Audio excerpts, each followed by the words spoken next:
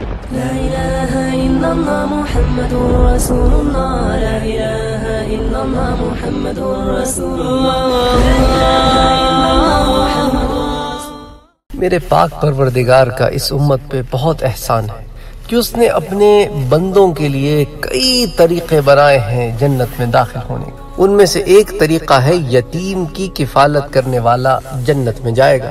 اس ضمن میں حضرت ابو حریرہ رضی اللہ تعالیٰ عنہ کہتے ہیں کہ حضور اکرم صلی اللہ علیہ وآلہ وسلم نے ارشاد فرمایا، یتیم کی کفالت کرنے والا خواہ یتیم اس کا رشتہ دار ہو یا کوئی اور ہو، کافر الیتیم لہو او لغیرہی تو حضور صلی اللہ علیہ وآلہ وسلم نے فرمایا کہ یتیم کی کفالت کرنے والا خواہ یتیم اس کا رشتہ دار ہو یا کوئی غیر ہو۔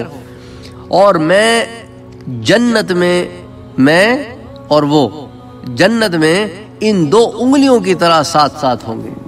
حضور اکرم صلی اللہ علیہ وآلہ وسلم نے اپنی انگشت مبارک کو، اپنی دو انگشت مبارک جو ہیں، وہ بلند فرمائی۔ امام مالک نے انگشت شہادت اور درمیانی انگلی سے اشارہ کر کے بتایا۔ اسے امام مسلم نے روایت کیا ہے۔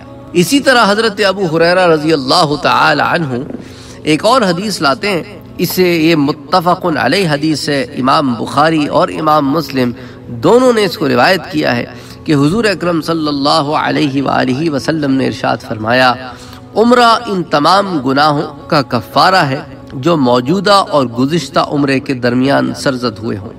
اور حج مبرور یعنی وہ حج جو اللہ کے ہاں قبول ہو گیا ہو، اس کا بدلہ تو جنت ہی ہے۔ سبحان اللہ سبحان اللہ سبحان اللہ۔